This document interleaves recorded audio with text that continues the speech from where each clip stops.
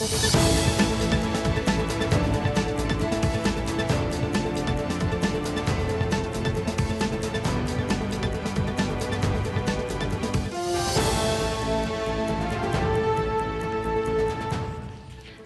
с новините по света и у нас.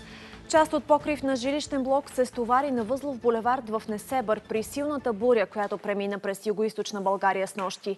За щастие няма пострадали, а само червеният цвят на светофара задържал автомобилите, които по чудо не са засегнати. Пътят е бил блокиран за около 30 минути. След като пожарната е разчистила участъка, преминаването оттам става само в едната лента. Скоростта на вятър е достигнала до 100 км в час. В Бургаско има сигнали и за паднали клони. В село Кошираца няколко къщи са останали без керамиди.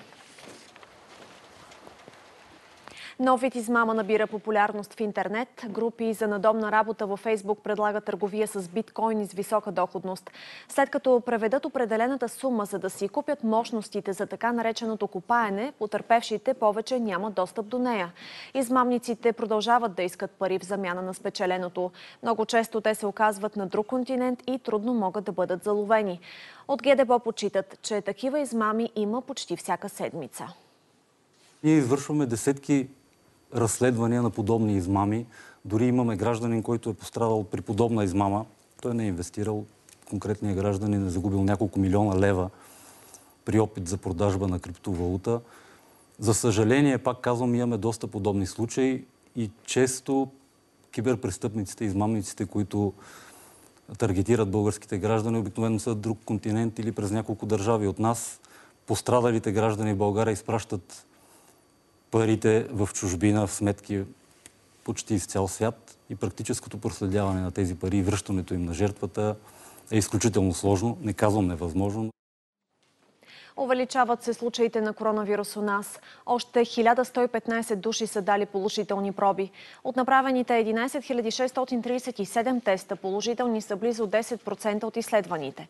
Данните показват, че излекувани за денонощието са 804 души, починалите са 89. В болница се лекуват 3057 пациенти.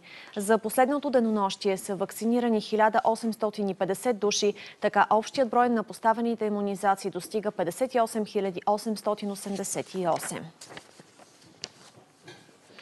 Европейският съюз финализира сделка с Pfizer-BioNTech за доставка на още 300 милиона дози от вакцината им срещу COVID-19.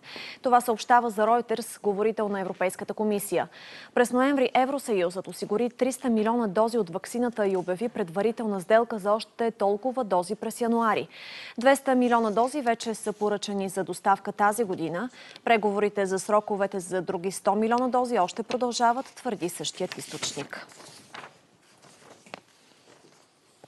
Днес в Сената започва процеса по импичмент на бившия президент на Съединените щати Доналд Тръмп. Той е обвинен в подстракаване към бунт в реч преди штурма на Капитолия. При размириците във Вашингтон загинаха петима души, сред които полицаи. Адвокатите на Тръмп призоваха Сената да прекрати процеса по импичмент с мотива, че е конституционно опоручен и го определиха като театър. В щата Джорджия започна още едно разследване срещу бившия президент. Властите проверяват опитите на Доналд Тръмп да промени резултатите от президентските избори миналата година.